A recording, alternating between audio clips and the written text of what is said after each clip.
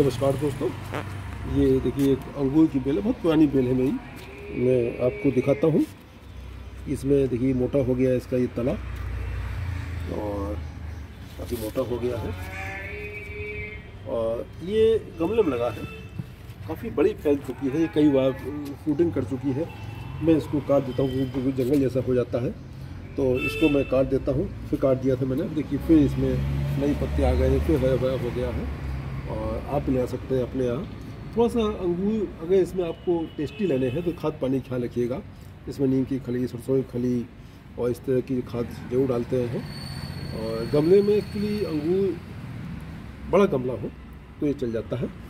इसे ड्रम का आधा ड्रम काट लीजिए, आप उसमें लगा दीजिए कहीं जगह हो रखने की तो उसमें ये बहुत अच्छा चलेगा।